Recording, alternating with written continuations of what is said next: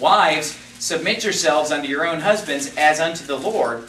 For the husband is the head of the wife, even as Christ is the head of the church, and he is the Savior of the body. Therefore, as the church is subject unto Christ, so let the wives be to their own husbands in everything.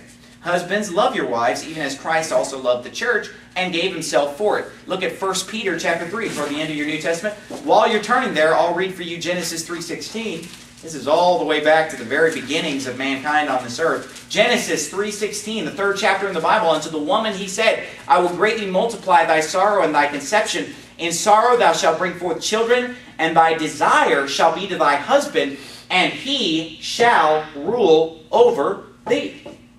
I've heard pastors get up and preach, the man is not intended by God to rule over his wife.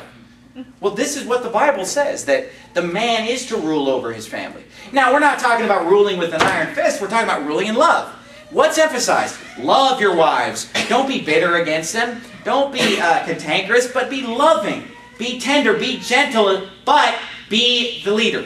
Be the ruler. Be the authority. Now, the sermon's geared toward men, but ladies, let your husband lead.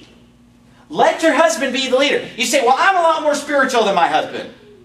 You know, he's not as, as strong in the faith. He's a baby Christian. He doesn't have the, the maturity. I'm kind of the one who's been saved longer. It doesn't matter. That husband has got to lead. Amen. I know of a person who's been saved for decades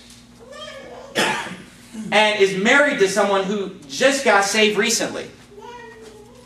And she said, I want to go with him to a lot of different churches, try a bunch of fundamental Baptist churches, and let him choose the church.